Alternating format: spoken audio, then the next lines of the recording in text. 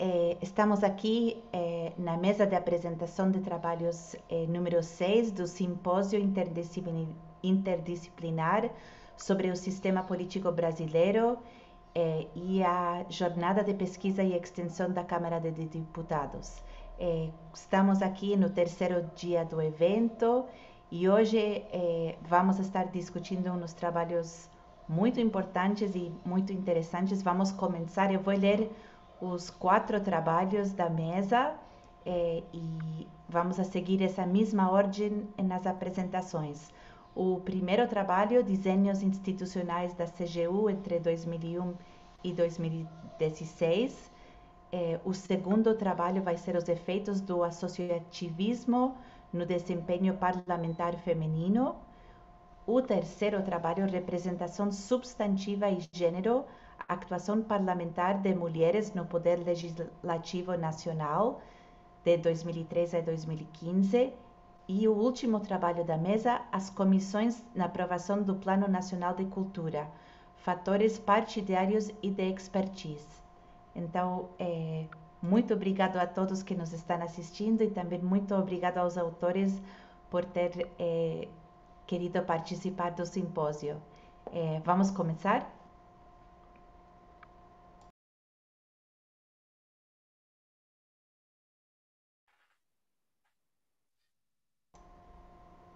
Helena, vou subir a apresentação, eu sou o primeiro panelista. Perfeito. E nós todos vamos desligar as câmeras, mas estamos aqui acompanhando.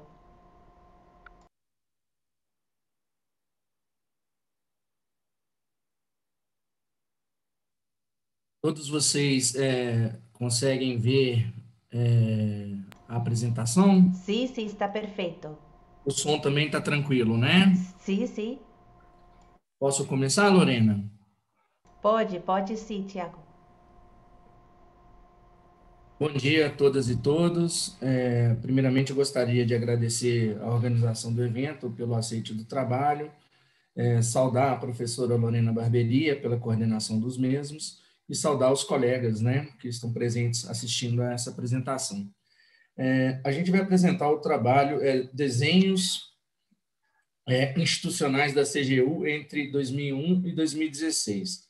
Bem, a motivação para esse trabalho se deu é, em função da edição da medida provisória 726 pelo governo Michel Temer, em que ele promovia a reforma administrativa do Estado em função né, da, do, do fato dele ter assumido é, o governo após o impeachment da presidente Dilma Rousseff. E uma das alterações é, que foi empreendidas nessa, nessa reforma foi a mudança da CGU, né, mudança de status ministerial e, e mudança, inclusive, de nome, né, mudou para Ministério da Transparência, Fiscalização e Controle. Então, é, num certo sentido, é, isso gerou uma, uma certa repercussão pública, um debate público. Aí a gente colocou uma, uma imagem né, de servidores é, da própria CGU que, que se mobilizaram contra essa, essa, transforma, essa alteração, e a ideia aventada à época era de que é, a CGU estaria perdendo discricionariedade e, com isso, é, capacidade de fiscalizar é, as ações dos membros do próprio executivo, né, as ações de fiscalização é, dos ministérios e por aí vai.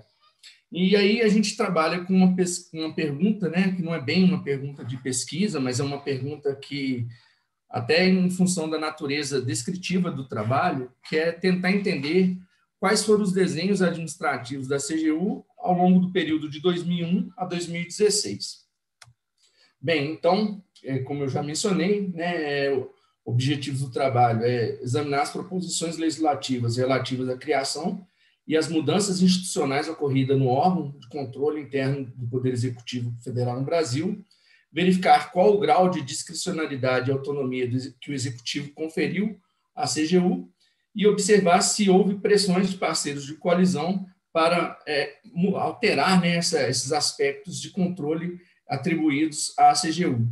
É, nós utilizamos, em termos de metodologia, a, o, o modelo do LIOS, de agência design, é, olhamos para os processos legislativos que envolviam é, legislação sobre o, a, a CGU e analisamos também as medidas provisórias e decretos presidenciais e leis de 2001 a 2016.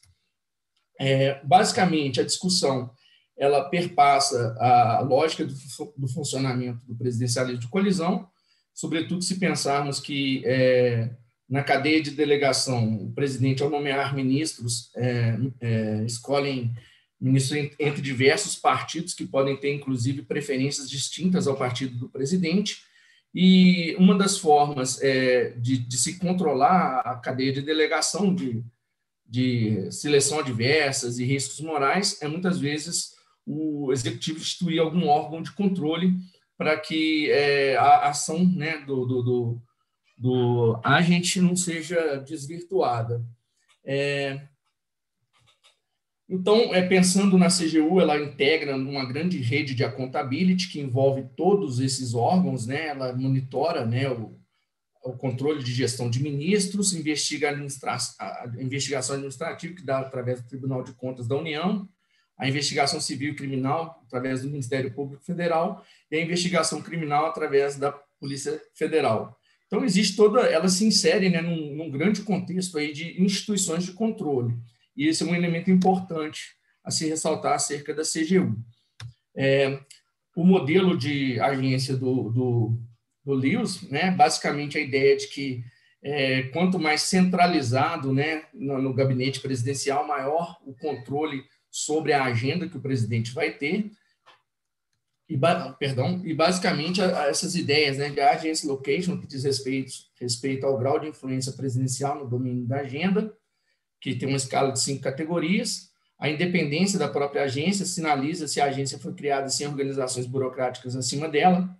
É, governance by Board or Commission indica se a agência está fora do gabinete presidencial, algo muito comum no, na realidade norte-americana.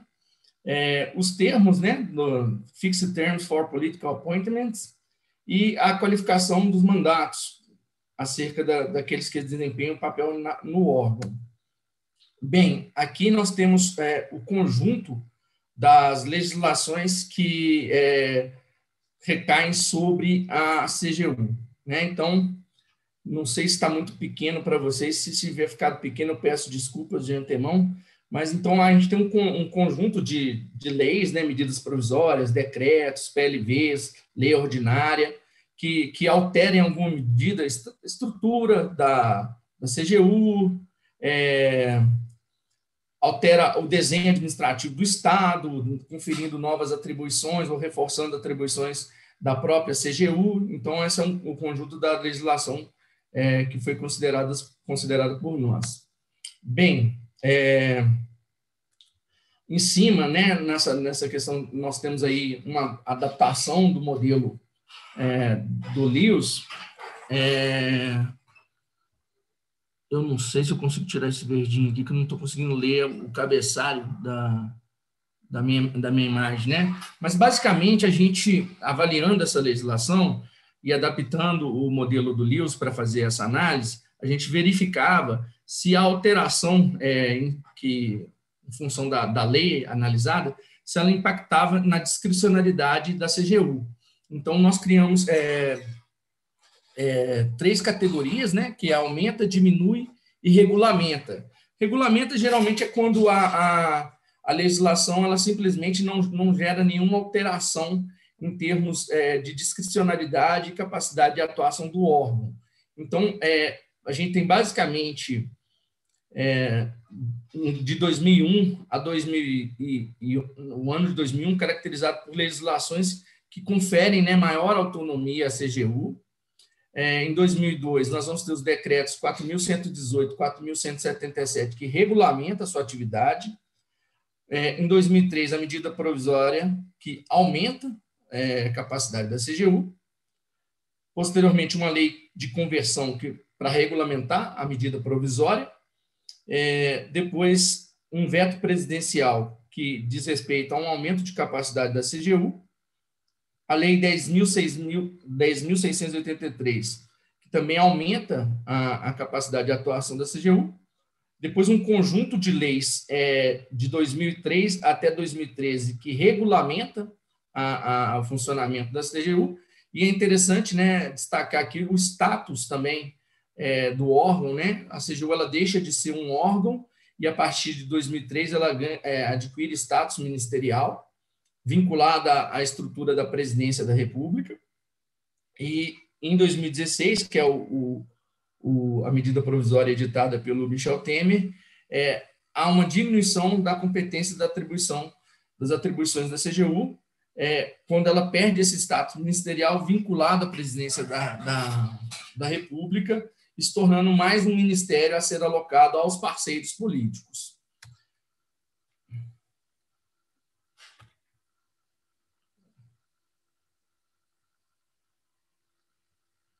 Né, então, aqui a gente tem é, como eu chamei a atenção para vocês, a medida provisória 103/2003 no governo Lula é, alça a CGU ao status de ministério e a medida provisória 7/2016 é, diminui esse status, né? É, consequentemente, é, poderia repercutir em diminuição da discricionalidade de atuação da própria CGU.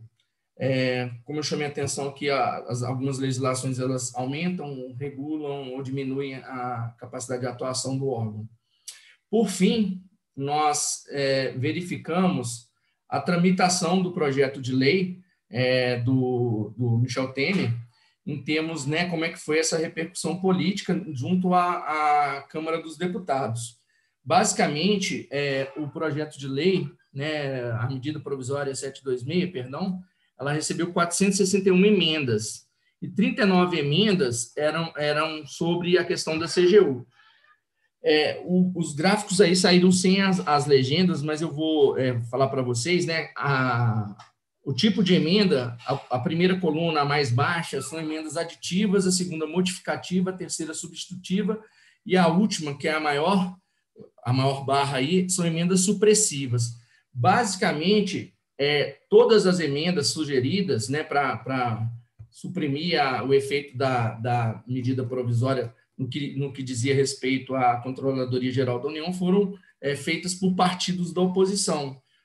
Das 39, o, o PT apresentou 29, que é a barra azul maior do gráfico 2, seguido aí pelo PCdoB, que apresentou 5, é, a Rede 2, é, PDT, PSOL um cada um, e o PTB, que apresentou uma emenda, mas uma emenda aditiva que não ia contra uh, os interesses da, da alteração que era empreendida através da medida provisória.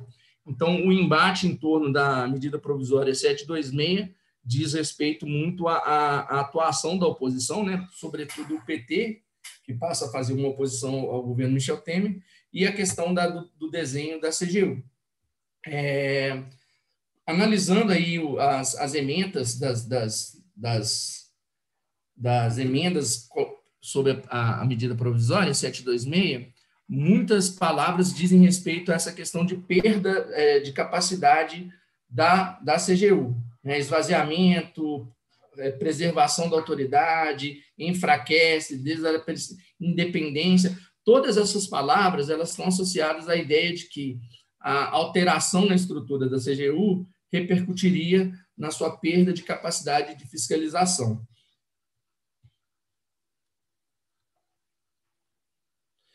Bem, é, o que, que nós observamos, podemos né, é, concluir da, da, da, dessa breve observação que nós fizemos? Durante os, os mandatos de Fernando Henrique Cardoso, Lula e Dilma, observa-se um fortalecimento da estrutura da CGU, ela ganha né, graus de discricionalidade, permitem atuar nesse combate à corrupção e evitar problemas relacionados à delegação.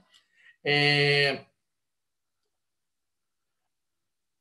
a medida provisória 726, ela, a gente não pode afirmar categoricamente né, de, que, de que essa mudança seria ali um evento crítico que mudaria completamente a, a, a estrutura de ação da própria CGU, devido a diversas questões, né? insulamento burocrático, PF dependency e, e, questões do tipo. E até mesmo o fato da CGU estar tá vinculada àquela estrutura maior de controle que eu havia mostrado anteriormente. Bem, é, então, fica ainda algumas agendas para olharmos e basicamente requer é um pontapé inicial de uma pesquisa, essa primeira parte descritiva, e a gente ainda precisa olhar, por exemplo, as medidas infralegais, né, que dizem respeito acerca do funcionamento da própria CGU. É, até a gente conseguiu essas informações via, via LAI, mas é, não havia tempo para estruturá-las para o evento. Elas, elas chegou para a gente muito em cima da hora. É, então, olhar toda essa dinâmica infralegal que informa o funcionamento da, da CGU, a própria, né, comparar a atuação antes e depois é, da, da, das alterações. Obrigado, gente. Acho que eu fui até muito rápido, né, Lorena? Mas foi formato eu acho foi, meio... foi bom. Estive no horários, tudo certo. É, muito obrigada, Tiago. O Vamos passar para a segunda apresentação? Sim, Ana Paula? Sim. Sim. Sim. Bom dia. Vou Bom colocar dia. a apresentação.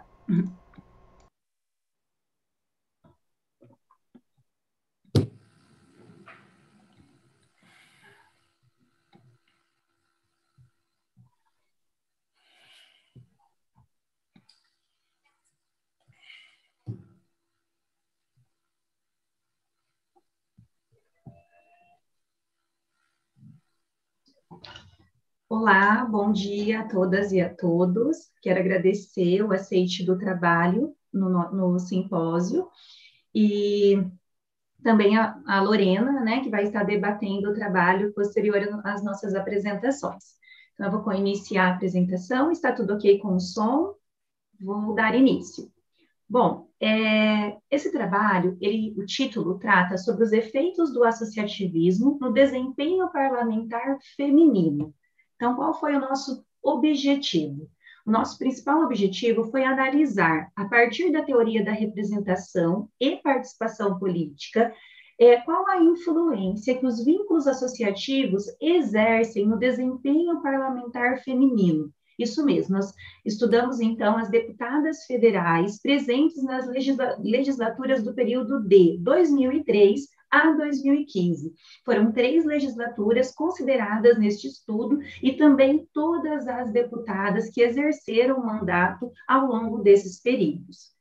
Bom, qual foi os nossos dados preliminares, né? O que motivou então a hipótese do nosso trabalho? Observou-se então que mais de 50% dessas deputadas, elas apresentavam pelo menos um vínculo associativo. Isso mesmo, relacionados aos sindicatos, organizações profissionais, associações de mulheres, associações religiosas, entre outros vínculos. Então, é, era um número expressivo né, de mulheres que tinha algum vínculo associativo, né? Então, lá na sua biografia, elas apresentavam, né, é, declaram ter vínculos com associações. Bom, motivado a isso, então, é, surge a nossa hipótese de pesquisa.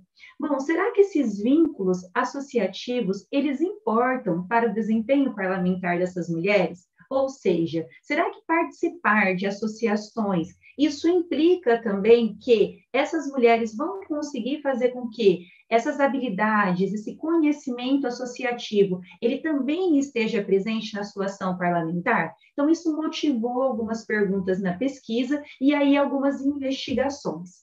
Vamos lá, então. Então, quais foram as principais categorias que nós analisamos? A, a, primeira e talvez a principal delas foi, então, analisar o associativismo e a democracia.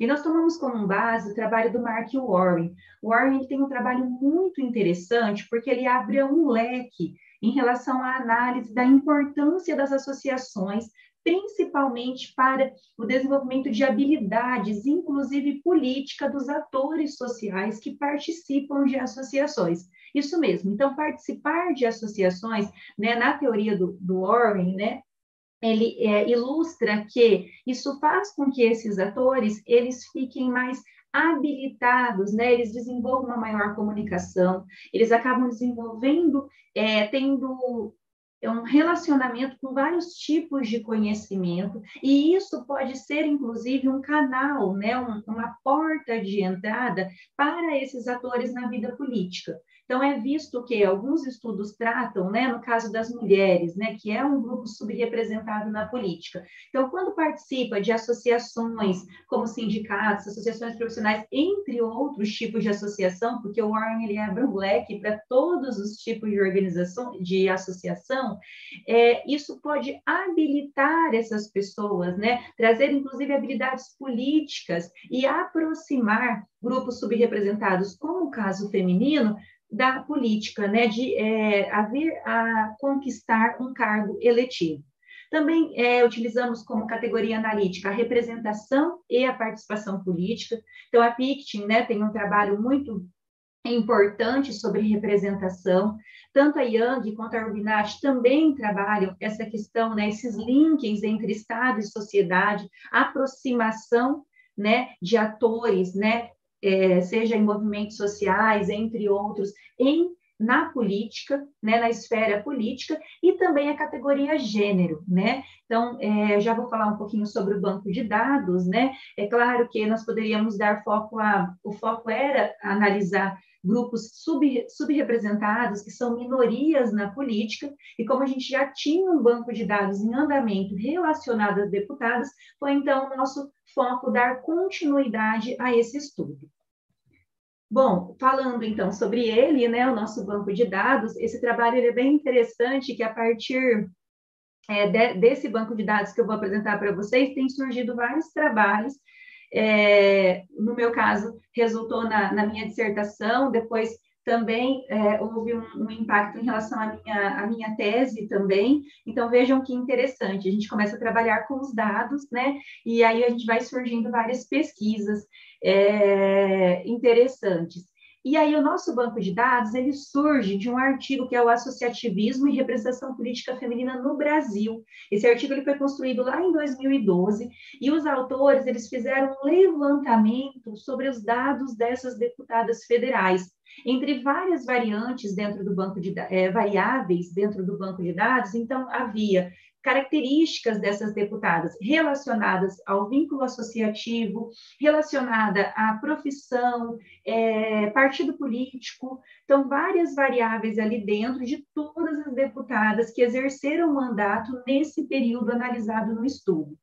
E aí, para o artigo que eu estou apresentando aqui para vocês, nós tivemos então o cuidado de, a partir desse banco de dados, né, dessas deputadas, verificar então quais foram os projetos de leis propostos por ela, analisar essa atividade parlamentar, proposição de projetos de lei e também a presença em cargos de liderança, né? Se essas deputadas ocuparam ou não cargos de liderança. Então, esse foi o nosso esforço, né? Para além desses dados que já tinham, né? Dados, é, inclusive pessoais, essas deputadas, é, sobre partidos, entre outros, nós tivemos, então, interesse de relacionar esses dados, principalmente em relação ao vínculo associativo dessas mulheres, com a sua produção legislativa, de maneira específica, a proposição de projetos de leis. E aí, então, houve né, a análise, né, a pesquisa sobre proposições de projetos de lei e presença em cargos de liderança. Esses dados foram coletados, então, no site né, da Câmara Federal. Né? Então, acessa, acessava lá, né, de maneira online, e fizemos, então, todo esse levantamento, né, de deputada por deputada, quais foram os projetos propostos e os cargos de liderança ocupados por ela. E aí, a partir dessas duas variáveis, né, projetos de leis propostos, cargo de liderança, nós então vamos fazer algumas análises com o índice de associativismo dessas mulheres. O que, que seria esse índice de associativismo? É a soma dos vínculos associativos das deputadas. Então, houve o interesse em verificar se qual era a relação da, desse trabalho de proposição de projetos, de presença de cargos de liderança com o associativismo dessas mulheres né? Se havia uma relação forte, fraca ou moderada. Então, o que, que nós encontramos como resultado de pesquisa? A partir de algumas, de algumas questões, né, de algumas perguntas, então, por meio de testes estatísticos, nós vamos ver, então, qual era a correlação, a relação desses, de, dessas variáveis. Então, nossa primeira pergunta foi sobre: será que as deputadas mais participativas são também aquelas mais ativas no Congresso?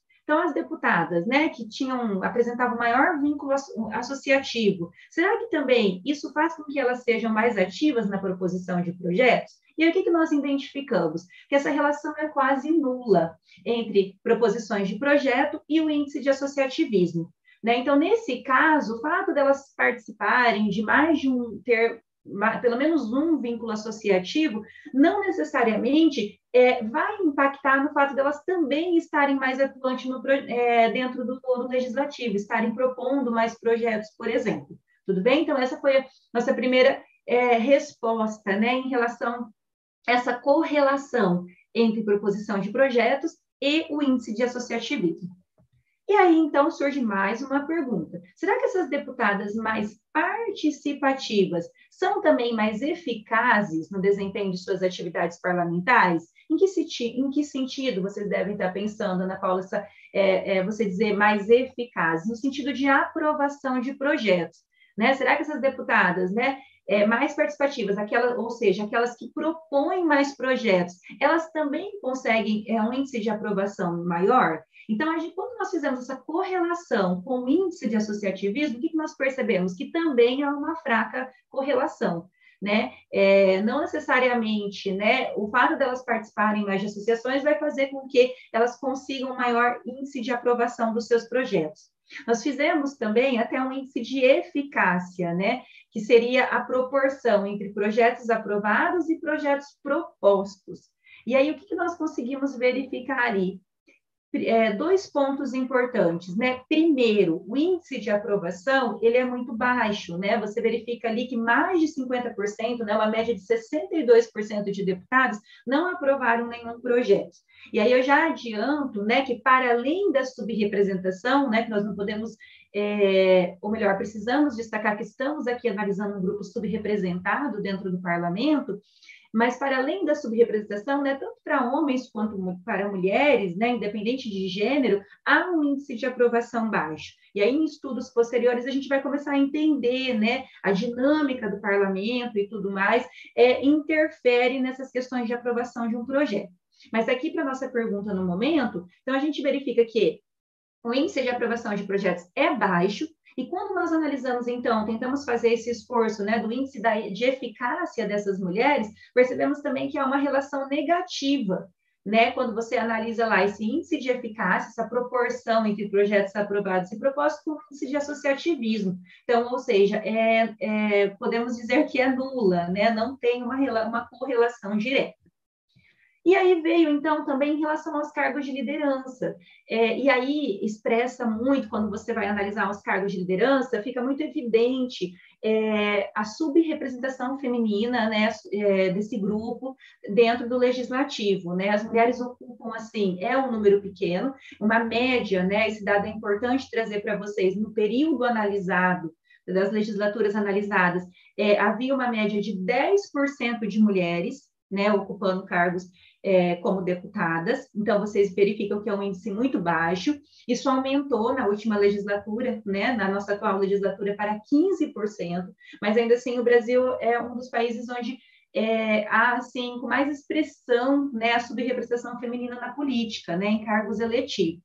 E aí a gente verifica que isso fica mais evidente ainda quando você analisa a dinâmica né, do legislativo e, no caso, a ocupação em cargos de liderança. Né? Você verifica que as mulheres ocupam muito pouco é, são pouca, é, ou melhor, é muito baixa a presença feminina em cargos de liderança. Então, quando nós formos analisar, fazer uma relação com o índice de associativismo dessas mulheres e a relação, a ocupação em cargos de liderança, também né, é uma relação muito fraca. Mais um dado interessante que 42% das deputadas que ocuparam, né, ao longo dessas é, três legislaturas, houve seis cargos ocupados por mulheres. Então, 42% dessas mulheres, né, elas ocuparam é, esses cargos, né? A gente verificou ali até foram seis cargos ocupados por mulher, mulheres. E aí o que, que a gente verifica, né? Então, que essas, que essas parlamentares, e aí essas parlamentares que ocuparam, elas tinham um vínculo associativo. Né? Então, aí a gente vê uma relação né, entre participar de associações e ali é uma, essa correlação em estar associadas, então, estar vinculadas né, com o associativismo. Bom, é, a nossa próxima pergunta era em relação assim à afinidade temática. Ou seja, né, eu acho que esse foi um ponto bem expressivo do trabalho também. É, será que essas mulheres, né? E aí eu vou trazer um exemplo prático: uma mulher que participa de um sindicato, né, ela tem, apresenta-se, ah, eu tenho um vínculo associativo com o sindicato. Será que quando ela está atuando, né, enquanto deputada, ela vai dar continuidade a esses temas? ela vai estar desenvolvendo é, projetos que tratam sobre essa pauta? Ou, de repente, ela, ela trabalhava, participava de uma associação vinculada, uma associação na área da assistência social, né, que atende crianças e adolescentes. Será que quando ela está ali dentro do parlamento, esse vínculo associativo, ele permanece? Será que ela vai dar continuidade? Ela vai propor projetos nessa área? Então, houve essa inquietação em perceber se esse efeito do associativismo, nessa essa participação, ia ter algum efeito na sua representação política. E aí um dado muito importante e interessante do trabalho que mais de 50% das deputadas elas apresentavam afinidade temática. Como assim, Ana Paula? Afinidade temática entre a proposição de projetos e os seus vínculos associativos. Então é um, é um um percentual expressivo. E aonde mais elas apresentaram, né? Aquelas que, é, ali, é, pelo teste estatístico, né, nós usamos, ela apresentou uma forte associação para a área profissional e para a área estudantil. Né? Então, essas mulheres com vínculos associativos para essas duas áreas tendiam a propor projetos também voltados para essa área temática dos seus vínculos associativos. Então, essa ficou uma relação assim interessante. Então, vejam só, é, apesar dos vínculos associativos não interferirem nessa eficácia delas dentro do parlamento, e aí posteriormente, né, houve outras inquietações, né? Bom, se esse vínculo associativo ele é fraco, para essa é, eficácia das mulheres, esse desempenho parlamentar feminino, é, e vamos entender, então, o, o, como essas mulheres estão trabalhando, o que de fato elas estão propondo, o que, que interfere né, na sua proposição de projetos. Mas, em relação às áreas temáticas, aí a gente verifica que há uma afinidade né, que pode ser que não interfere na aprovação de projetos, mas há sim, elas, elas, é, o vínculo associativo permanece presente ali na hora de propor projetos, na hora de atuar com os temas dessas proposições, ok? E aí, é, o que, que ficou né, de próximos passos, o que, que nós ficamos de, é, o que, que fica de interessante? É, nesses dados levantados. Eu acho que o primeiro ponto é a importância né, de estar analisando. Então, a gente tem hoje uma literatura muito interessante, fazendo importantes abordagens sobre é, a subrepresentação feminina, né? No caso do Brasil, que tem um eleitorado ali de mais de 52% por mulheres e um índice tão baixo de mulheres presentes em cargos eletivos. Então, assim, né, e para além dessa questão de gênero da mulher da política, tem outros grupos que também buscam né, representação dentro do, de cargos eletivos. Então, isso é muito importante é, dar voz é, a esse tema. E um outro ponto que nós verificamos, e começar também é, análises do que esses grupos subrepresentados, esses grupos minoritários, o que eles estão conseguindo promover dentro desse espaço. Né? Então, assim, a gente consegue verificar dentro da literatura, o Orwell trabalha de uma maneira muito, é, muito assim, aberta essa questão do associativismo, de você olhar para as associações, e aí, independente do tamanho, não só para grandes associações, mas para associações desde pequenas a maiores, e o impacto, os efeitos democráticos né? É, ou seja, essa relação de participação e representação. Então, existem os espaços na sociedade que, quando o indivíduo participa, o ator social, ele participa desses espaços, isso faz com que ele se fortalece, que ele consiga habilidades, inclusive habilidades políticas, para aproximá-lo da representação política. Então, esse é um ponto analisado e esse esforço de verificar essa relação entre representação e participação política, né? Por isso ali a análise da Young, da Urbinati, que faz, ela, ela mesma fala desses linkings entre Estado e sociedade, nessas né, esses pontos de aproximação entre Estado e sociedade, o quanto isso interfere de maneira positiva é, para os grupos subrepresentados. E aí fica, né, como proposta, ficou posteriormente como proposta, próximos passos, fazer uma análise do conteúdo é, legislativo dessas mulheres, né, um mapeamento do que essas mulheres estão propondo,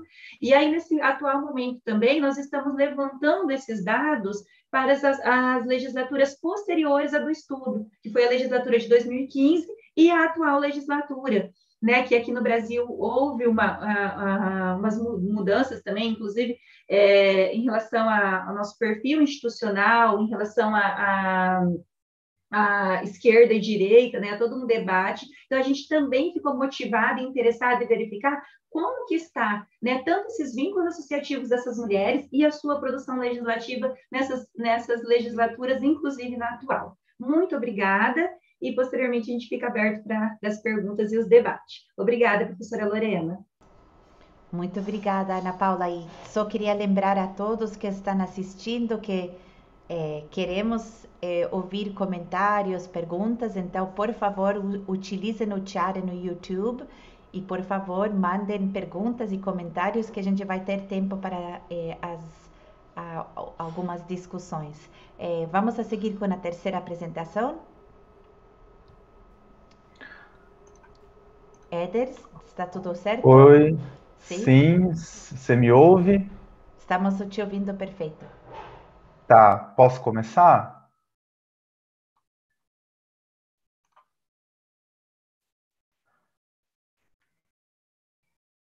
Tá aparecendo a minha apresentação? Vocês podem só confirmar, por favor? Está, está funcionando tudo perfeito, Éder. Tá bem, Lorena, obrigado. Bom, bom dia a todos. Meu nome é Éder. Eu desenvolvi esse artigo em parceria com a Ana Paula, acabou de apresentar, e ele é intitulado Representação Substantiva e Gênero, Atuação Parlamentar de Mulheres no Poder Legislativo Nacional entre 2003 e 2015. O tema do nosso trabalho é a questão da representação substantiva, e nesse paper nós desenvolvemos um diálogo com a análise do desempenho de mulheres ocupantes de cadeiras no Poder Legislativo Nacional. Nós nos baseamos, então, na atuação de deputadas federais para as mesmas legislaturas referentes às quais a Ana acabou de apresentar um trabalho que tem a ver principalmente com os dados da dissertação de mestrado dela. Isso significa, portanto, que é um outro desdobramento de uma mesma base de dados, agora ampliada para além da questão dos vínculos associativos e do desempenho relacionado a esses vínculos, mas olhando para a atuação dessas mulheres em termos de proposições temáticas e aprovações dos seus projetos. Nesse sentido, então, nosso objetivo foi oferecer subsídios empíricos para análise sobre o papel das parlamentares brasileiras com relação a pautas que nós tratamos baseados na, na discussão da tese da Ana Paula como feministas e pautas voltadas às mulheres. Essa discussão, então, tem um tema que perpassa as nossas agendas de pesquisa desde a nossa formação de pós-graduação, já que a Ana Paula estuda gênero, representação e comportamento parlamentar, e eu venho de uma agenda de estudos majoritariamente sobre partidarismo, representação e comportamento político. Sobre a representação substantiva, essa é uma perspectiva tratada classicamente pela Pitkin como uma forma de compreender a representação política. Para ela, a substância da representação estaria na atividade de representar. Então, a representação não se basearia em apenas um líder eleito, mas como ele age conforme os objetivos que ele representa e a maneira como os eleitores, de um modo geral, desempenham a sua relação de acompanhar essa atuação dentro do contexto da legislatura. Segundo a Pitkin, então, coloquei no slide, a atividade de representar agindo por outros deve ser definida de acordo com o que o representante faz e como o faz, ou uma combinação dessas duas considerações. Aí é o que a autora denomina como agir por. A ideia desse agir por, então, é, explica o contexto, o conceito teórico de representação substantiva, porque significa que os representantes consideram os representados e considera esses representados como elementos importantes para a representação política. Então, os líderes não vão representar ou não deveriam representar apenas os seus interesses pessoais, mas os interesses daqueles indivíduos que não podem estar presentes na política. A dificuldade acaba sendo, olhando para esse conceito, em como lidar com os desejos, por assim dizer, desse eleitorado, né? Porque os interesses do público são amplos, são variados, e é esse o ponto em que a gente recai na questão da congruência política, que seria uma linha de estudos que dialoga com a Pitkin e outros autores sobre representação e traz essa perspectiva de como eleitores e eleitos se relacionam com relação a diferentes temas, ou como comportamento político e parlamentar se aproximam ou se distanciam diante de contextos democráticos de representação. Assim, a nossa ideia é dialogar com uma série de trabalhos que, depois da Pitkin, passaram a discutir novas formas de pensar a representação, buscando muitas vezes, inclusive, uma aproximação entre as perspectivas dos eleitos e do eleitorado, como a Phillips, Urbinati, Warren, que a Ana acabou de citar, Young, outros autores que tratam da questão da congruência política, como Ian Carreirão no Brasil, e além disso, olhando também para pesquisas nacionais que se dedicam, por exemplo, a compreender a relevância dos vínculos associativos entre os parlamentares e a sua atuação, os posicionamentos dos partidos no espectro ideológico a partir da percepção dos parlamentares e de especialistas, e também a existência de congruência entre a cultura política dos parlamentares, dos eleitores, pensando então para alguns partidos de uma maneira específica.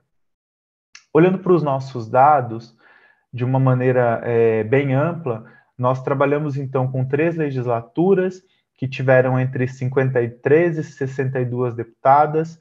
O volume de projetos nas duas primeiras legislaturas analisadas foi praticamente o mesmo, tendo uma expansão na legislatura de 2011 a 2015, mas ainda assim os percentuais ficaram ou um pouco abaixo ou um pouco acima de 10% do total de projetos propostos. Isso porque a gente tem um contexto de subrepresentação feminina no parlamento, atingindo mais recentemente 15% das cadeiras ocupadas, mas ainda assim um volume de produção que acaba sendo mais ou menos relacionado ao próprio percentual de vagas de cadeiras que essas mulheres ocupam.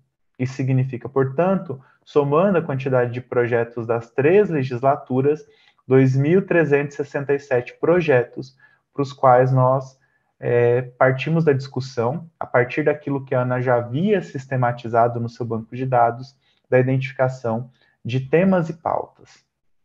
Olhando para as tabelas de uma maneira mais específica e também para otimizar o tempo dessa apresentação, conforme a classificação dos projetos propostos por mulheres, com relação às pautas feministas e também femininas, nós buscamos identificar, então, essa divisão que foi proposta na tese da Ana. Como pautas feministas, são temas oriundos de movimentos e grupos de mulheres que buscam, por exemplo, igualdade de gênero em todas as áreas da sociedade. Como pautas para mulheres, os temas são relacionados à prevenção de doenças, direitos trabalhistas e outras questões que não necessariamente têm a perspectiva de um enfrentamento ou de busca por uma igualdade ok? E para definir esses temas, foi sempre utilizada as ementas de cada um desses 2.367 projetos. Na tabela 1, nós identificamos que a grande maioria das propostas, 88%, são proposições de âmbito geral. E esse é um dado importante porque a subrepresentação das mulheres pode dificultar o aumento das propostas sobre os temas relacionados ao universo feminino. Então, pautas para mulheres e pautas feministas. E a partir disso é possível discutir a necessidade de fortalecer a representação substantiva de mulheres por meio então do aumento do número dessas deputadas, para intensificar o debate sobre as pautas e ampliar a compreensão do conteúdo dessas proposições já que são temas que dialogam com setores múltiplos da sociedade. A gente está falando de temáticas que são transversais. Aqui cabe uma, uma consideração no seguinte sentido: nós não estamos, em momento algum, defendendo que só mulheres podem propor pautas que tenham a ver com mulheres. Nós destacamos que não é um problema um homem apresentar uma pauta que tenha um envolvimento com tema para mulheres ou com temas feministas, seja ele como autor ou como coautor, já que todos os legisladores devem atuar visando atender às necessidades sociais da população como um todo. Mas as mulheres, elas têm experiências, perspectivas, formas de se colocar dentro de uma sociedade que é patriarcal, que é machista, que tem uma visão que parte da perspectiva masculina para a política e outras áreas, então as mulheres podem compreender para o avanço na proposição desses temas.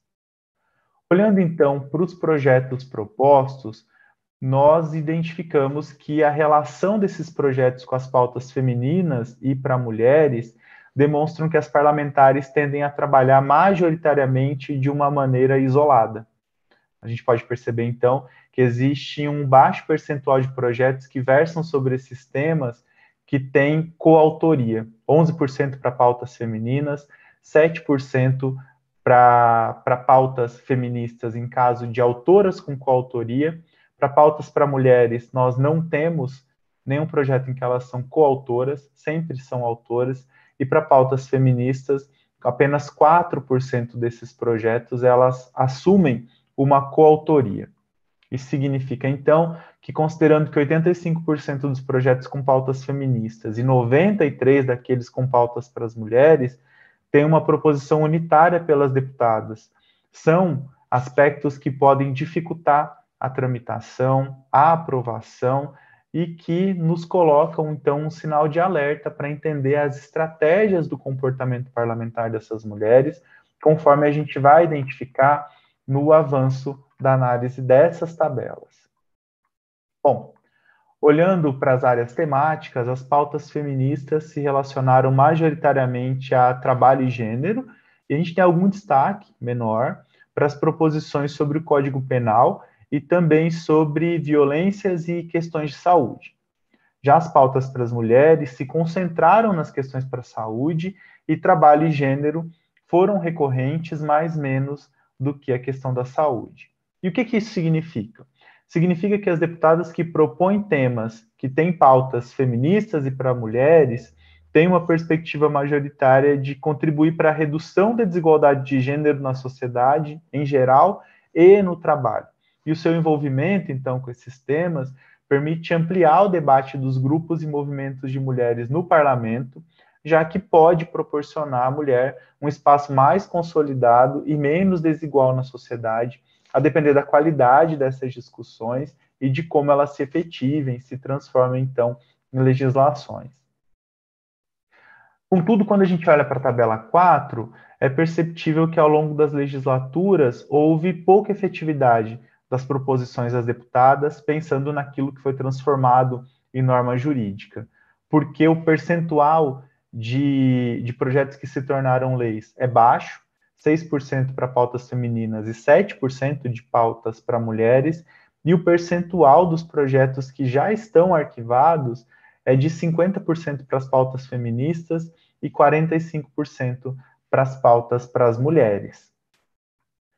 Entre os projetos que foram transformados em leis e normas, nós identificamos que a maioria se refere a homenagens ou comemorações. Com relação aos demais, os três principais temas de pauta são trabalho, gênero e a relação entre Código Penal e violência para as propostas feministas e a saúde e esportes sobre as pautas para mulheres.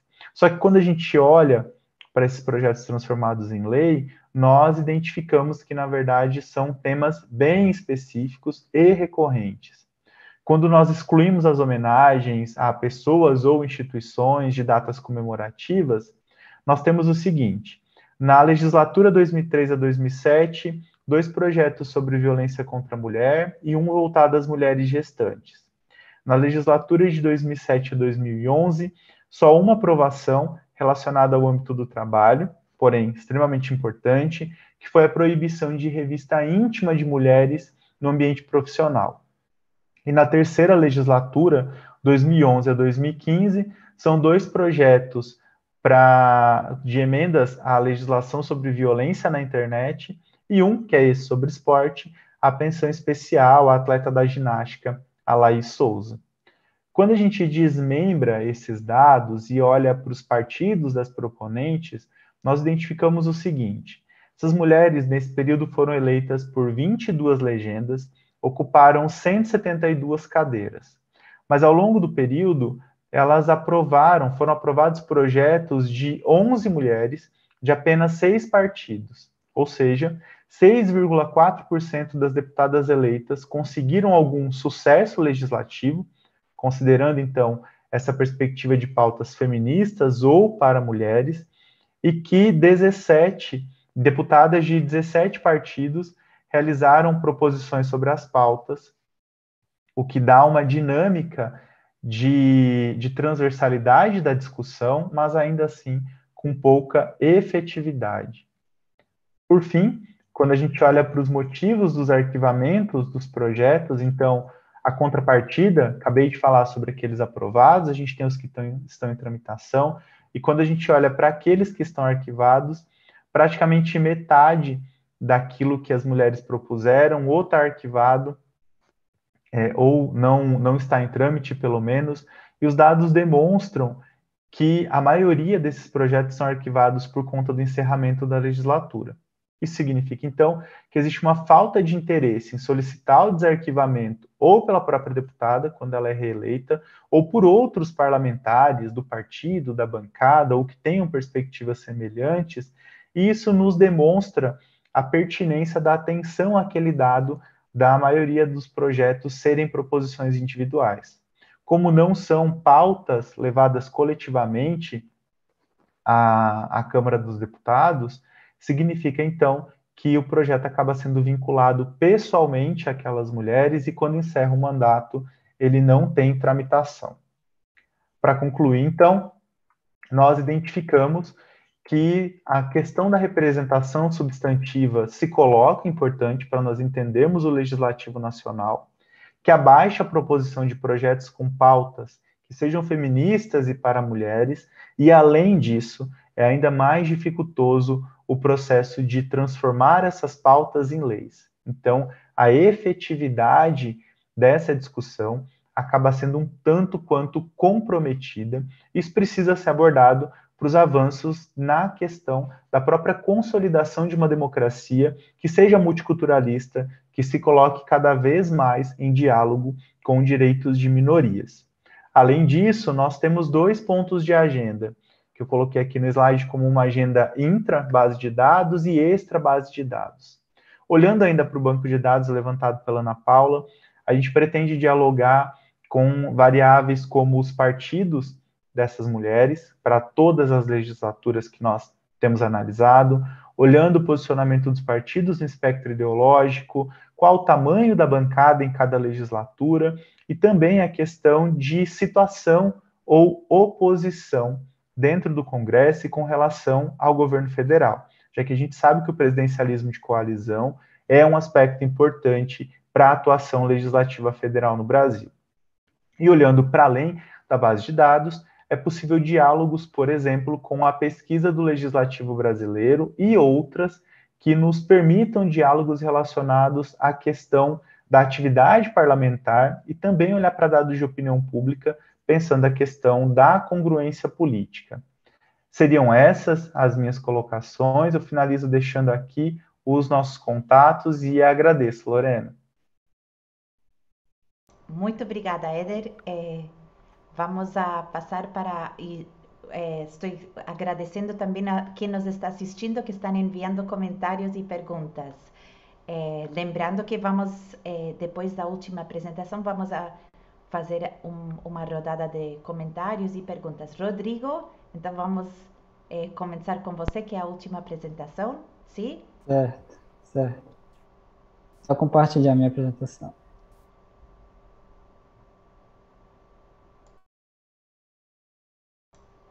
Ok, está aparecendo? Sim, sim, está tudo certo. Tá bom. Bom dia, é, chamo Rodrigo Cordeiro Carvalho, sou mestrando do PPGCP aqui da, da Universidade Federal do Pará. E eu fiz esse trabalho né, sobre as comissões na aprovação do Plano Nacional de Cultura, fatores partidários e de expertise, que eu fiz junto com o meu orientador no mestrado, que é o professor Dr. Bruno de Castro Rubiati. É, o trabalho mais detalhado, junto com as referências, ele pode ser encontrado no, na página eletrônica aqui do evento. Basicamente, falar rápido sobre as justificativas do trabalho. É, primeiro, a importância da política de cultura em si, é, principalmente levando em consideração uma dualidade que existe, se você pensar em, em políticas de cultura, relacionado tanto à, à importância do subsídio do Estado a, a projetos culturais, para favorecer uma diversidade de, de planos de, e de trabalhos artísticos né, na área, quanto também o, o viés mais negativo, que seria é, a possibilidade do Estado é, determinar o que é, digamos, uma cultura aceita já ser um, um perigo para a democracia em si. E, além disso, tem uma escassez na literatura sobre a tramitação de, de projetos na área de cultura, e a montagem do Plano Nacional de Cultura, ela se origina também num contexto no qual o principal propositor da, da, da política ele era da oposição ao governo, né, que é o deputado federal Gilmar Machado, e mas o projeto veio a ser aprovado num momento em que já era num cenário mais governista. No início era foi proposta uma PEC pelo Gilmar Machado, ainda quando o Gilmar, o Gilmar Machado, que é do PT, né, ele era da oposição ao governo à época, no ano 2000, que era o governo Fernando Henrique Cardoso, e o projeto veio a ser aprovado em 2010, já sob o governo Lula. É, além disso, teve a decisão terminativa e conclusiva nas comissões de ambas as casas, o que demonstra a relevância das comissões na tramitação legislativa. Aqui o referencial teórico, vou fazer um resumo bem rápido mesmo, que as nossas principais referências vêm da, da, noção do presidencialismo de coalizão, especialmente lá com, com o clássico do Sérgio Abranches, que vai demonstrar a, o dilema institucional né, da tentativa de conciliar a representatividade a um país heterogêneo e, ao mesmo tempo, garantir governabilidade ao sistema. Então, a gente vai ter uma combinação de multipartidarismo com presidencialismo, federalismo, que é, diversos trabalhos ali à época, nos anos 90, anos 80, anos 90, vão enfatizar a questão de ser gerar um sistema difícil de se governar. Porém, logo em seguida, vem os trabalhos do Fernando de Monge e da Argelina Figueiredo, demonstrando que há sim uma certa governabilidade e trabalhando isso com dados mais relacionados a, ao projeto, à arena intralegislativa, né, ao Congresso em si, para mostrar inclusive o poder dos partidos aí dentro do Congresso para disciplinar os parlamentares e, com isso, garantir certa previsibilidade ao legislativo, que, combinado com o poder de agenda do executivo, acaba gerando uma maior capacidade de governabilidade ao sistema. Além disso, a gente trata rapidamente sobre o bicameralismo, porque uma grande parte dos trabalhos sobre a, a, os estudos legislativos, eles enfatizam a Câmara dos Deputados por ser a Câmara iniciadora de todos os projetos de lei que não, não tem origem no, no legislativo. Então, projetos do executivo, que tem uma grande dominância na produção legislativa nacional, eles acabam começando pela Câmara dos Deputados e a, o Senado Federal muitas vezes fica em segundo plano nessa agenda. Porém, vem crescendo né, a análise sobre o Senado Federal nesse sistema, o que demonstra, vários trabalhos vêm demonstrando a importância do, do Senado também tanto no controle, na retenção de projetos, quanto na aprovação dos projetos a partir da, da formação da coalizão governista, que vai gerar uma coordenação dos trabalhos, tanto do executivo com o legislativo, quanto das duas casas do legislativo em si. E aí é, também a agenda enfatizou por muito tempo aquela questão, né, Fernando de Monge e a Gina Figueiredo, como eu já citei, da, do, do colégio de líderes, de, da centralização do poder no legislativo pelos, pelas lideranças partidárias e pelo presidente das casas, pelos presidentes, e que acaba colocando as comissões em segundo plano. Porém, mais recentemente, a, a, a gente tem um trabalho da, da Andrea Freitas, que vem colocar a importância das comissões na alteração dos projetos, e mais recentemente gente tem o trabalho do Acir Almeida, que coloca um, uma elevação da quantidade de trabalhos aprovados dentro das comissões, sem necessariamente passar pelo plenário, sendo o plenário aquela casa mais propensa à dominação das maiorias legislativas. E aí, na, na análise do sistema de comissões, tem um referencial que vem dos Estados Unidos, basicamente com três modelos principais, que é o modelo distributivo, modelo informacional e o modelo partidário, sendo o primeiro baseado na conexão eleitoral dos parlamentares com os seus distritos eleitorais, que vai levar uma produção legislativa muito mais localista, né? que vai favorecer, o, as comissões estariam ali para favorecer ganhos de troca entre os parlamentares. Já no modelo informacional, a gente vai ter uma ênfase na questão da, da relevância das informações dos parlamentares buscando a sua reeleição e para isso querendo aprovar boas políticas e para aprovar boas políticas eles vão preferir é, gerar é, estímulos a, ao ganho informacional ali pelo legislativo. Então, as comissões vão ser ocupadas de forma mais heterogênea, de forma a favorecer a especialização dos membros e a confiança nas informações geradas dentro das comissões. Por outro lado, a gente vê é, tanto o modelo informacional quanto o distributivo, eles é, colocam em segundo plano a atuação dos partidos, por considerarem os partidos naquele, naquela época meio que estava numa fase de consideração de decadência do poder dos partidos. Porém, o modelo partidário vem, se, vem refutar isso, mostrando que os parlamentares percebem que é, há uma necessidade de coordenação da ação coletiva ali, que através disso se destaca as lideranças partidárias para haver uma melhor capacidade de negociação do, dos parlamentares mesmo, de cada partido, com o executivo, com os outros poderes, e assim favorecer a aprovação de mais projetos e, consequentemente, a reeleição desses parlamentares. Os objetivos do trabalho, a partir disso, passam a ser analisar nos eixos partidário, coalizão e expertise prévia, analisar a ocupação das cadeiras de titulares nas comissões, a ocupação das presidências e vice-presidentes das comissões, que são cargos de grande relevância ali por controlarem a, a boa parte do, do, processo de tramitação dos projetos de lei, e observar também as relatorias do Plano Nacional de Cultura, já que os relatores são os responsáveis por acatar emendas, por fazer um parecer ao projeto e que esse parecer aqui vai ser votado tanto nas comissões como no plenário, se o projeto vier a ser votado em plenário.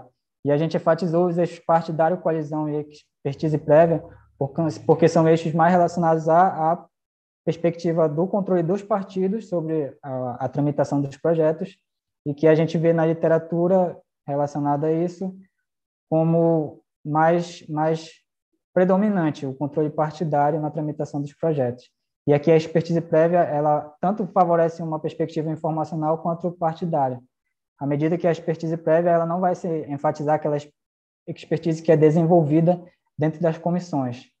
No caso, os parlamentares verifica-se que os parlamentares não ficam muito tempo, não tendem a permanecer muito tempo nas comissões, então eles não ficam tempo suficiente para desenvolver ali a expertise. E a expertise prévia seria um critério partidário na medida em que eles vão ver aqueles parlamentares que têm maior escolaridade, levando isso como uma observação de que quem tem mais escolaridade tem uma capacidade maior, para desenvolver a habilidade na área, ou também a experiência política, aqueles que têm mais experiência estão mais aptos também a desenvolver um bom trabalho nas comissões, e a questão também da, da atuação profissional, se está relacionada à temática da comissão, quando são comissões temáticas em si. Materiais e método, é, Basicamente, a gente identificou nos sites da Câmara e do Senado as comissões pelas quais o Plano Nacional de Cultura tramitou, e aí foi primeiro na Câmara dos Deputados, foi na SEC, que é a Comissão de Educação e Cultura, e depois na CCJC, que é a Comissão de Constituição e Justiça.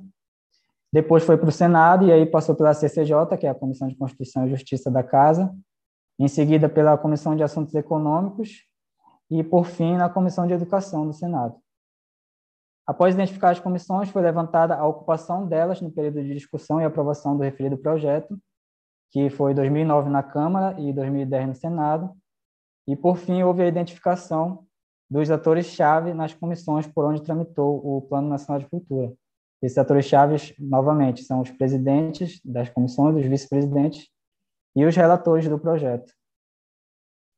Como resultado, a gente tem que na tabela 1 há um predomínio de parlamentares com formação superior, que está sempre acima de 75%, e isso está de acordo com os componentes da expertise prévia, como critério partidário para a seleção dos integrantes de comissões, o que também corresponde ao modelo informacional, haja vista que uma escolaridade mais alta representaria maior aptidão para o desenvolvimento de conhecimentos necessários para a aprovação de boas leis.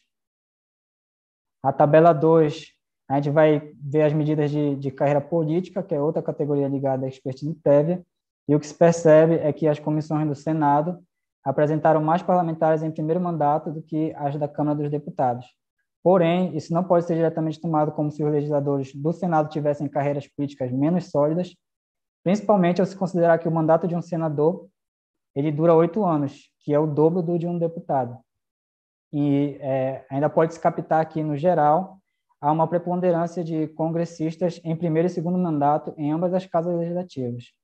É, mas isso também não pode ser visto como indicador de que seriam parlamentares com pouca experiência, uma vez que muitos podem apresentar a ocupação de outros cargos eletivos, que é o que a gente vai ver na tabela seguinte.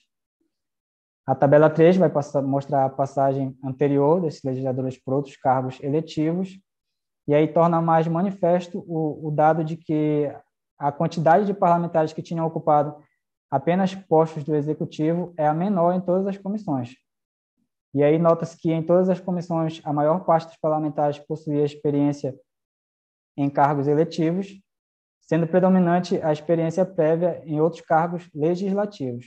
Mas há também uma presença significativa de parlamentares com experiência é, tanto em cargos é, legislativos quanto executivos.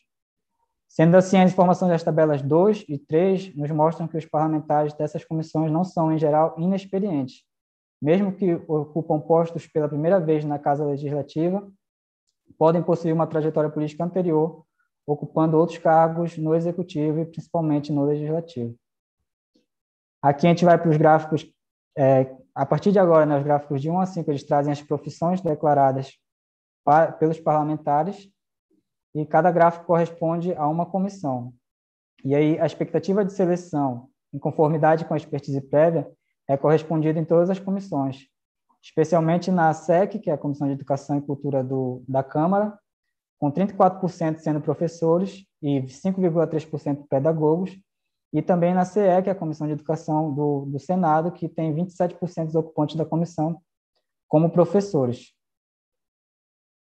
Aqui os gráficos 3 e 4, que já vai para outras comissões, e aí também é, é digno de nota a presença de profissionais da área do direito e segurança pública na CCJC e na CCJ. Na comissão da primeira Câmara, se observa que 33% dos seus titulares eram advogados, e somado com os 2,7% de procuradores de justiça e 2,7% de delegados, temos 38,4% de profissionais ligados à área de justiça e segurança pública. Já na comissão do Senado, são 18% de advogados é a segunda maior frequência de profissões declaradas, ficando apenas atrás de professores. E aí cabe notar uma observação aqui que muitos dos que se declaram professores atuam em instituições de ensino superior e muitas vezes em cursos de direito e economia, sendo assim possível que o número de parlamentares com vinculação com a área de atuação dessas comissões seja ainda maior. Aqui a gente tem a, a Comissão de Assuntos Econômicos do Senado, onde se observa um quadro um pouco distinto. Né? A profissão declarada com maior frequência é a de professor, seguida de engenheiro, empresário, economista e administrador. Mas, é, se considerarmos que, pela área de atuação dessa comissão, economistas, administradores e empresários seriam setores que gozam de expertise para atuação, é, observa-se que 37,5% da comissão está nessas categorias.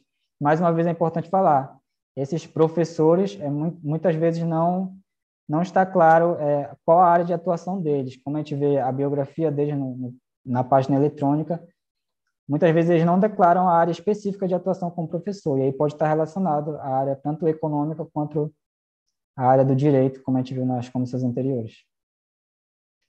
Aqui, agora, passando à ocupação partidária das comissões, a gente vai ver nessa tabela e na tabela 5, que há uma pluralidade de partidos condizente com o multipartidarismo né, das casas legislativas brasileiras, e na comissão da Câmara dos Deputados são 12 partidos na CCJC e 10 na SEC. Já nas comissões do Senado, a gente tem 10 partidos na Comissão de Assuntos Econômicos e 9 partidos, tanto na CCJ quanto na Comissão de Educação. Observando agora pelo lado da coalizão, a gente vê que, primeiro, é, acentua-se o fato de que a ocupação geral da coalizão governista em cada uma das comissões é majoritária, sendo a única exceção vista na, na Comissão de Educação do Senado, onde os partidos da situação ficam com um percentual de 48%, ou seja, é, apesar de não ser majoritária, é uma ocupação bem próxima dos 50%. E aí é possível perceber que a coalizão conseguiria, de maneira geral, ter uma boa capacidade de controle sobre a tramitação dos projetos. Em relação à, ocupação das presidências e vice-presidências, a gente vê aqui na tabela 6 que a coalizão de governo também ocupa a maioria dessas, desses cargos, e os únicos partidos que não apoiavam o governo e ocuparam alguns desses postos foram o DEM, com a presidência da CCJ e a terceira vice-presidência da CCJC, e o PSDB com as segundas vice-presidências da CCJC e SEC. E assim, nota-se que os partidos da coalizão, nos casos em questão, o PT, PMDB e PCdoB, possuem quatro das cinco presidências, aumentando consideravelmente a capacidade de coalizão da coalizão de pautar essas comissões. Basicamente, fazer um resumo sobre as relatorias, que na Câmara dos Deputados ficaram todos com parlamentares do PT, que demonstram alto controle do partido, do presidente, que na época era o presidente Lula, a, a respeito desse projeto. É, na SEC, a relatora foi a Fátima Bezerra, que ofereceu um substitutivo, ao qual não houve emendas oferecidas. Na CCJC, foi, o relator foi Emiliano José, também não recebeu propostas de emendas, mas seu parecer incluiu sete subemendas modificativas e no, o deputado Milton Vieira chegou a apresentar um recurso contra a, pressão, a apreciação conclusiva dessa comissão, mas um requerimento do autor do projeto, o Gilmar Machado, retirou de pauta a tramitação desse recurso. Ambos os pareceres foram aprovados por unanimidade ainda na Câmara. Vou é, passar logo aqui para a conclusão. Na, já que na, na, na rapidinho. Aqui no Senado, a tramitação foi bem mais rápida, não houve um controle grande do PT sobre as, as relatorias, mas é, a maioria dos partidos era da coalizão governista. Só o PSDB, que ficou na, na última comissão, ali na Comissão de Educação, que não era da coalizão, mas também não ofereceu alterações ao projeto.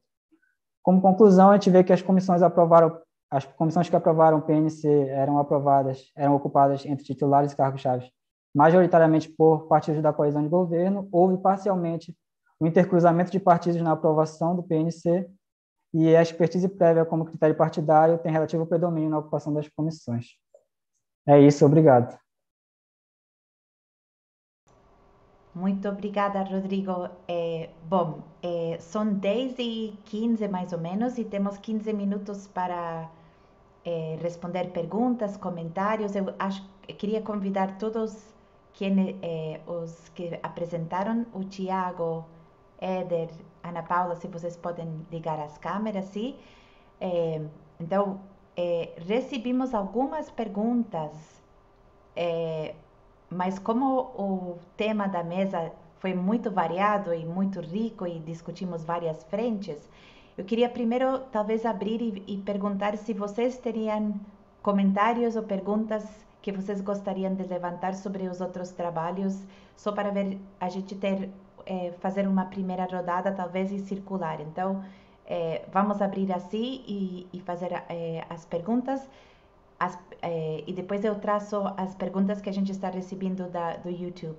Tiago, você quer falar? Sim? Sim, sim. É, eu queria fazer uma pergunta para o trabalho, em referente ao trabalho do Rodrigo. Achei muito interessante, Rodrigo.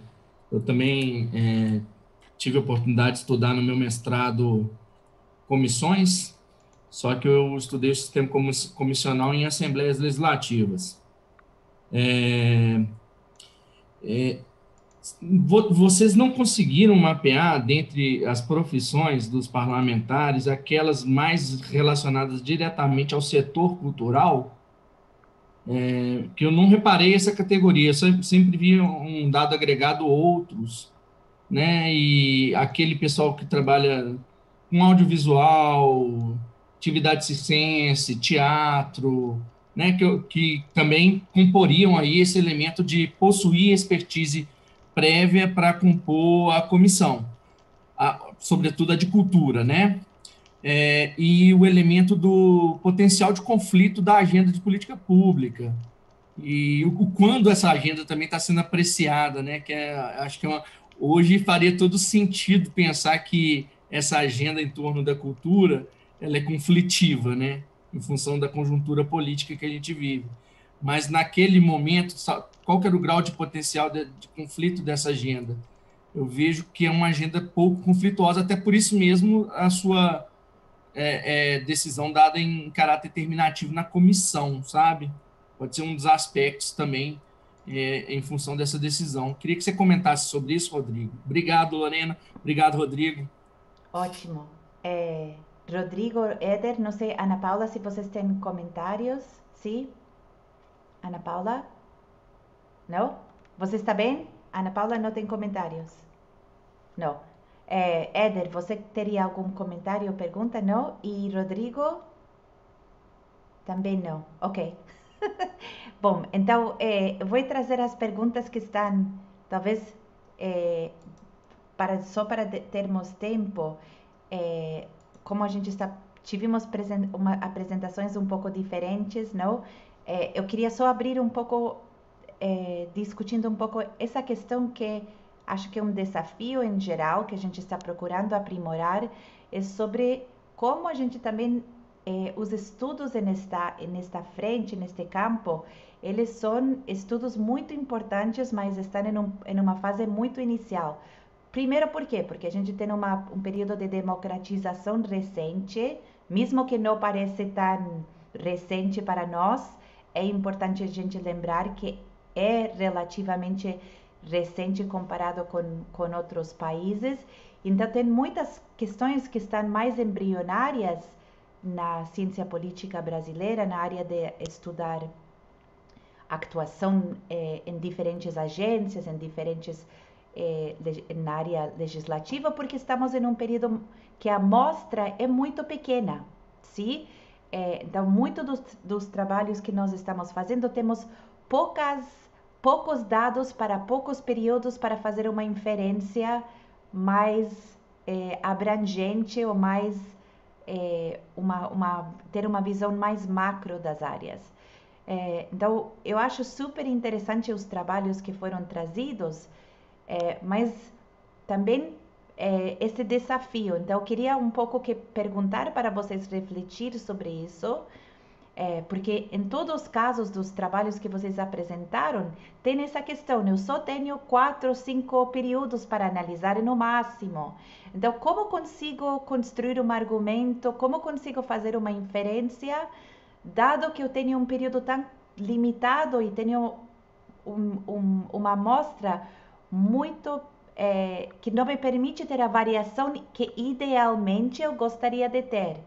É, então, como vocês veem esse problema, como vocês pensam no futuro de nossa área, de nossos estudos, como podemos é, nos é, aproximar a esse desafio e o que isso significa para o que estamos fazendo e para o campo em geral. Então, essa seria uma, uma pergunta que acho que nos permite todos nós é, dialogar juntos. E depois acho que eu, eu traço as perguntas que estão no YouTube. Então, vamos abrir com essas essa, essa pergunta e depois a gente volta para os comentários que foram levantados no YouTube, sim? Ok, vamos fazer na ordem que apresentamos. Tiago, você quer começar? Sim, sim. Lorena, eu penso que você traz aí um, um elemento de reflexão é, muito importante né, na área do desenvolvimento do campo da ciência política, que é justamente esse aspecto é, é, temporal relacionado, sobretudo, com a abertura de novas frentes e agendas de pesquisa. Isso é, acho que o amadurecimento do campo vai passar por isso, né? É, somos uma democracia jovem, de fato, principalmente se comparada com as democracias das chamadas primeira onda, né? Então, a gente tem muito o, o que aprender. Isso, de fato, se reflete nos, no, nos trabalhos né, apresentados e, particularmente, até mesmo no trabalho apresentado por mim e em coautoria com a, com a Beatriz. É, nós temos praticamente a janela da Constituição Federal de 88 para cá para pensar sobre esse desenho nessa agência de controle que é a Controladoria Geral da União.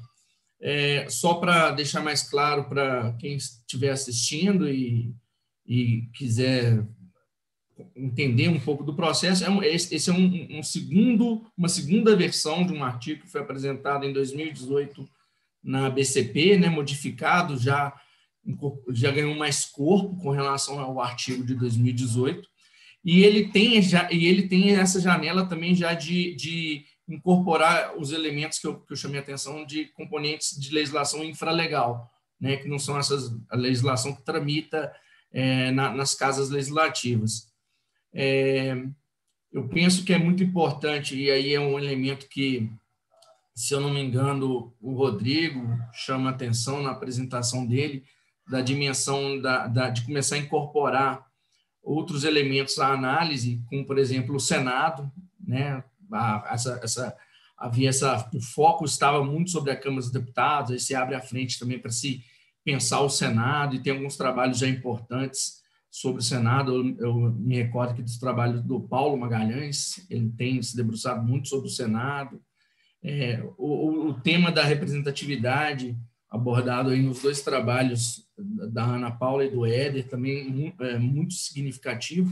E, e, e, talvez, Lorena, pensando alto e, e, colaborando com esse debate que você propôs, é, é, talvez a perspectiva de desenhos de pesquisa comparados entre países, com, né, para a gente poder ter alguma, alguma possibilidade de, de fazer alguma inferência para além de estudos descritivos e, e coisas do gênero. Acho que eu já falei muito. Obrigado. Ótimo. Então, Ana Paula, sim? Com licença, Lorena. Nossa, muito boa essa colocação sua, Lorena, porque é uma dificuldade que nós sentimos, né? Esse, essa questão dessas inferências e, e a necessidade de ter mais dados, né? E o que, que, eu percebo trazendo essa discussão? É, o Tiago acho que deu um, um, algo muito importante, que é essa questão de fazer as comparações com os países. Até a minha orientadora, Tiago, do, do doutorado, ela faz esse esforço, sabe, de fazer comparação com outros países, e é muito interessante. É, e o que, eu penso, né, trazendo aqui para o nosso objeto de estudo? Eu vejo assim que é, olhando para a literatura, quando você vai fazer essa análise, que nós estamos trazendo essa questão de grupos minoritários, essa discussão da subrepresentação política, é, eu percebo assim, hoje nós estamos com, com, e claro que isso tem que continuar, um número de estudos bem interessantes relacionados assim a, a, ao acesso desses grupos ao parlamento, aos cargos eletivos é, eu, eu, vejo que no caso brasileiro ainda é muito importante fomentar é, as análises em relação ao que esses grupos estão de fato produzindo lá na Câmara na Câmara ou em outros cargos. Eu acho que a gente precisa explorar um pouco mais esse, esses dados, e aí, é, a partir de, de a, aprofundar um pouco mais essas análises, aí buscar a, a, questão das comparações, que eu gostei muito desse caminho que o Thiago colocou, fazer esse comparativo com outros países. Né? A, o Éder vai bem lembrar, a professora Carla,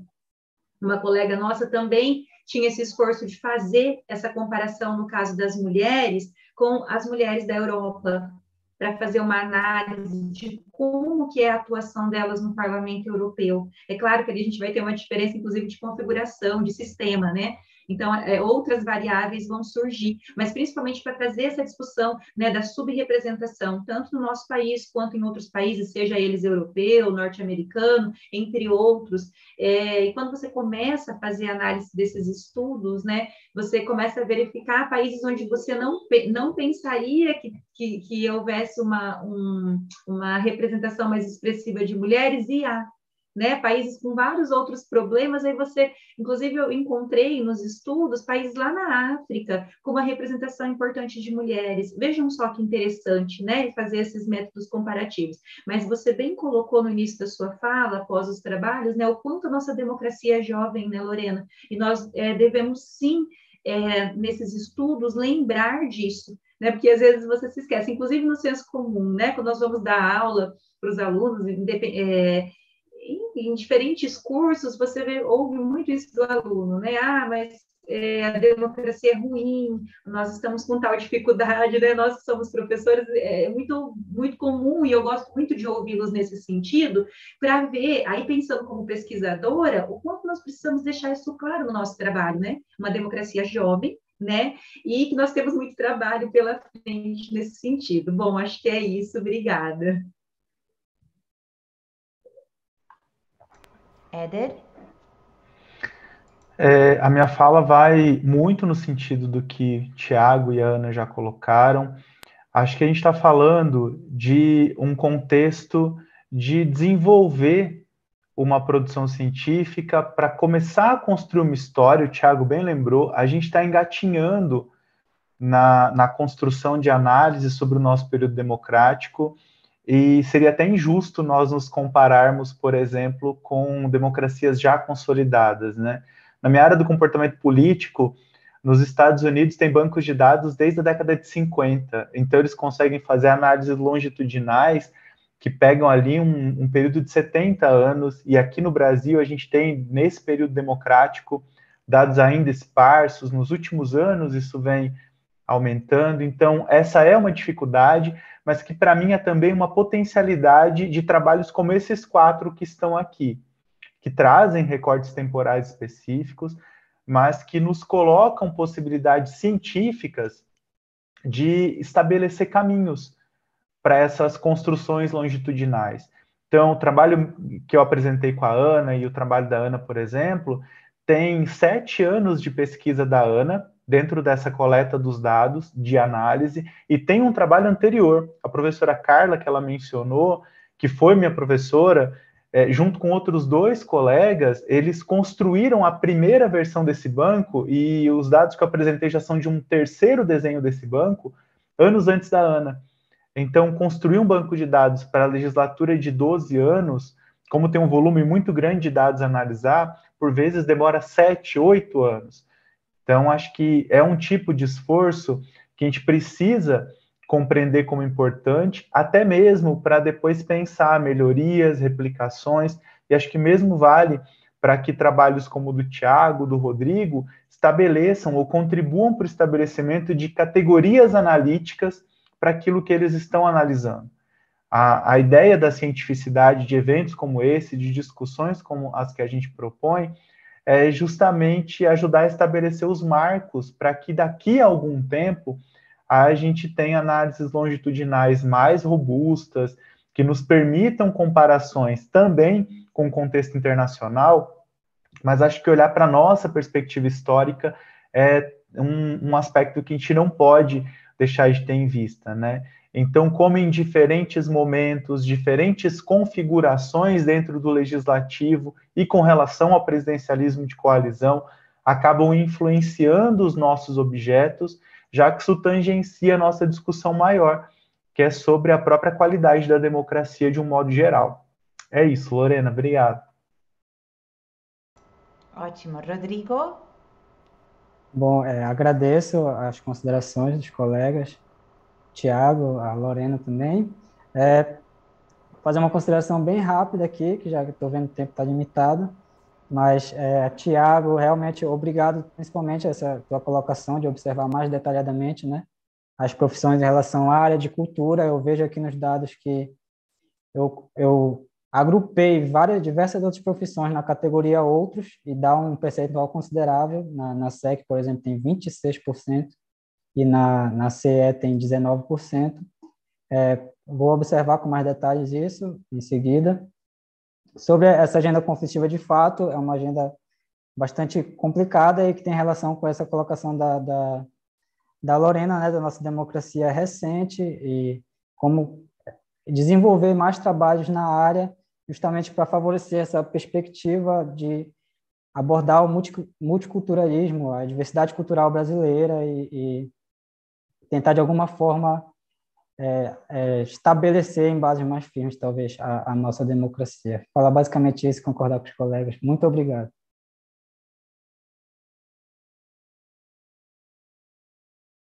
Ótimo. É, então, como vocês disseram, a gente está no final. É, no YouTube houve uma discussão muito é, é, entre os participantes, só para é, relatar aqui que talvez a gente pode trazer um pouquinho, é, que foi uma, uma preocupação levantada com a questão de estudar um grupo específico, não? Então a questão de é, que eu acho que também foi uma questão que foi tratada pelo Éder, o Éder especificamente planteou isso, porque a pergunta que foi um pouco que começou é, é quando você cria nichos e eleva um, uma categoria específica, o gênero sobre o argumento de ter de haver uma representação e uma cota, você não pode não pode a participação de pessoas mais capazes.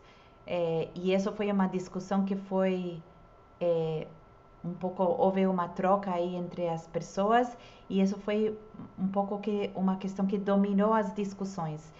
É, então eu, eu vou só deixar isso registrado porque eu achei que também já tinha sido tratado é, na, nas apresentações iniciais. É, e a outra pergunta que foi é, foi levantada foi sobre sobre para o Rodrigo quanto à expertise dos presidentes da comissão e relatores se existiu alguma observação quanto ao desempenho parlamentar anterior no que se refere é, a, na área de cultura. É, bom, é, houve outras perguntas é, ou, ou, trocas e, e, discussões e a gente está cientes. Eu acho que todos nós depois podemos olhar na, no YouTube e ver a, a discussão, não? Só queria registrar que a gente sim estava lendo mas eu queria procurar trazer uma discussão mais de troca e diálogo, então é por isso que fiz essa pergunta. É, então, super obrigado a todos. O, estamos só no meio do evento, tem muitas mesas boas ainda o dia inteiro, então convido todo mundo que puder para olhar a programação, assistir, enviar trabalhos. A gente precisa do trabalho de todos nós, é muito importante. É, a gente está abrindo frentes novas, eh, trazendo muita informação valiosa para amadurecer e fortalecer a nossa democracia. E agradeço muito o trabalho de todos os pesquisadores desta mesa. Eh, parabéns a vocês e obrigada.